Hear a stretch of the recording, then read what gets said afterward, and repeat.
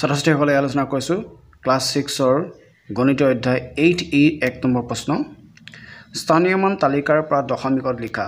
ইয়াতে সংখ্যা দিয়া আছে আৰু স্থানীয়মান তালিকাত সজাই থোৱা আছে। তাৰ পৰা আমি সংখ্যাটো বাছি উলিয়াব লাগে আৰু বাছি উলিওৱা সংখ্যাটো দশমিকত লিখিব লাগিব। ঠিক আছে? আহাচোন তাক কিদৰে কৰিব পাৰি চাওঁ এতিয়া। এয়া সংখ্যাটো সহস্ৰ শতক দশক একক দশমাংশ শতকাংশ সহস্ৰাংশ দিয়া আছে। স্থানমতে আমি লিখি থোৱা আছোঁ। স্থানমতে লিখি থোৱা সংখ্যাবোৰ আমি দশমিকত প্ৰকাশ কৰিব লাগে ঠিক আছে? এতিয়া আমি ইয়াৰ পৰা আমি কেনেকৈ দশমিকত প্ৰকাশ কৰিম চাবা? অংকটোত চাব তোমালোকে এককৰ মানটো এককৰ স্থানৰ মান আৰু দশমাংশ।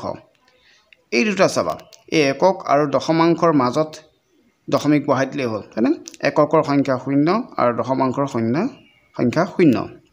অৰ্থাৎ দশমিকবোৰ ইয়াতেই বহিব। এই প্ৰয়োজন এই ভাগটোতে বহিব। গতিকে আমি কি পাম? একক আৰু দশকৰ সংখ্যা মিলিলে হ'ল বিছ তাৰপিছত দশমিক দি দশমাংকৰ পিছফালে কি আছে? শূন্য আৰু তিনি। ঠিক আছে শূন্য তিনি বহালোঁ। সেইদৰে পাঁচ শতক দশক একক। এককত ন আছে ন?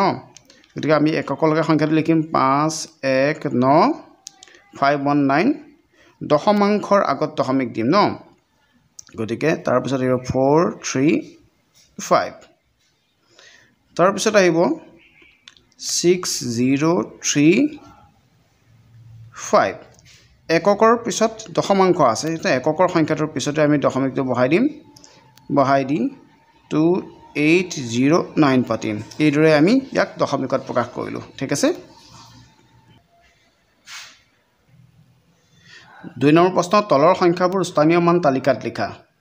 ইয়াতে এই সংখ্যাবোৰ আমি স্থানীয় তালিকাত সজাই দিব লাগিব ঠিক আছে? পাঁচ দশমিক আঠ চাৰি। এই দশমিক ক'ত হ'ব ন? দশমিক দশাংশ আৰু একক একক। এই ইয়াৰ মাজতেই দশমিক লিখিব লাগিব। দশমিক হয়। গতিকে আমি সংখ্যাবোৰ লিখোঁতে এতিয়া দশমিকৰ প্ৰথম সংখ্যাটো এইফালে এ পাঁচ আছে তাৰমানে ই হ'ল এককৰ সংখ্যা। গতিকে একৰ সংখ্যা পাঁচ পালোঁ বাকীখিনি তাৰ পিছে পিছে পাতি যাব পাৰোঁ। সেইদৰে একক দশক দশকত দুই আছে। গতিকে দশকৰ স্থানত দুই বহাম তাৰপিছৰ পৰা আমি সংখ্যাবোৰ অনায়াসে পাতি যাব পাৰিম। ইয়াতে দশমিকৰ আগৰ সংখ্যা তিনি ই হ'ল এককৰ স্থান। বাকীবোৰ দশাংশ শতকাংশ সহস্ৰাংশ হয়। এতিয়া এককৰ ঘৰত তিনি বহাই দিয়াৰ পিছত আমি বাকীবোৰ পিছত পাতি গ'লেই হ'ল। সেইদৰে ফিফটি টু এতিয়া ফিফটি টুৰ একক দশক দশকত পাঁচ আছে গতিকে দশকৰ স্থানত পাঁচটো বহাই ল'ম বাকীখিনি তাৰ পিছে পিছে পাতি যাব পাৰিম। হ'ল।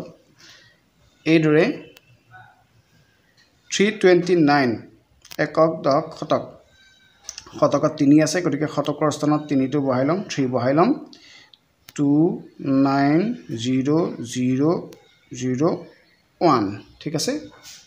এইদৰে পাতিলোঁ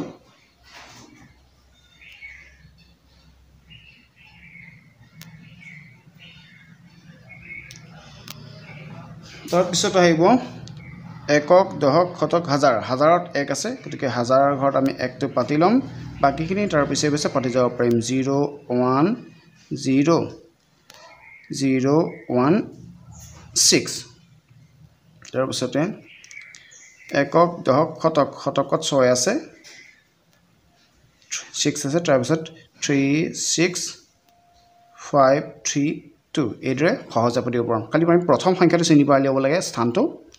প্ৰথম অংকটোৰ স্থানটো চিনি পোৱাৰ পিছত আমাৰ অসুবিধা নহয়। তেনেকৈ একক দশক শতক হাজাৰ। হাজাৰত এক বহাই লওঁ বাকীখিনি তাৰ পিছে পিছে পাতি যাম। Zero' five five. তাৰপিছত শেষৰ সংখ্যাটো আছে। একক দশক শতক হাজাৰ অযুত। অযুতলৈকে আছে গতিকে অযুতৰ অংক এক বহাই লৈ বাকীখিনি আমি পোনে পোনে পাতি যাম চাৰিটা শূন্য। চাৰি তাৰপিছত তিনিটা শূন্য দশমিকৰ পিছত তিনিটা শূন্য আছে আৰু শেষত এক এটা আছে হ'ল। এতিয়া আমি অংকটো সমাধান কৰিলোঁ ঠিক আছে?